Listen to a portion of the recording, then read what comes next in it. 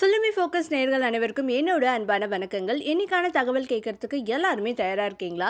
அதாவது நம்மளோட ஏஆர் முருகதாஸ் அவர்களும் அது மட்டும் இல்லாமல் லிங்குசாமி அவர்களும் இவங்க ரெண்டு பேரும் இயக்கிற படத்தில் ஒரே ஹீரோவை வச்சு எடுத்துட்டாங்களா? இவங்களோட ஹீரோவை இவர் எடுத்துக்கிட்டாரா? அப்படின்னு சொல்லிட்டு நிறைய பரபரப்பான விஷயங்கள்லாம் போய்கிட்டு இருக்கு. ஆனால் உண்மையான விஷயங்கள் என்ன அப்படின்னு கேட்டிங்கன்னா நம்ம இயக்குனர் ஏஆர் முருகதாஸ் அவர்கள் என்ன பண்ணியிருக்காருன்னா அவர் இப்போ வந்து தளபதி சிக்ஸ்டி ஃபைவ்ல அவர் தான் முதல்ல ஏற்கிறாரு அப்படின்ற மாதிரிலாம் இருந்துச்சு. ஆனால் இப்போ நெல்சன் தான் அதை ஏக்கிட்டு இருக்காரு ஸோ அவர் அதுலேருந்து விலகி இப்போ தெலுங்கு இண்டஸ்ட்ரியில் வந்து ரொம்பவே சாமிங்காக இருக்கிற ராம் அவர்களை வச்சு இப்போ ஒரு படம் ஏற்க போகிறதாகவும் அவர் சொன்ன கதை ராமுக்கு ரொம்பவே பிடிச்சிருந்துச்சு. ஸோ சீக்கிரத்தில் இதோட படத்தோட எல்லா விஷயத்தையும் நாங்கள் அப்டேட்ஸும் ரிலீஸ் பண்ண போகிறதாகவும் சொல்லி கொண்டிருந்தாங்க இந்த வகையில் இவர் இப்போ ஆல்ரெடி அதாவது ராம் ஆல்ரெடியே லிங்குசாமி இயக்கிற தெலுங்கு படத்தில் நடிச்சுக்கிட்டு இருக்காரு.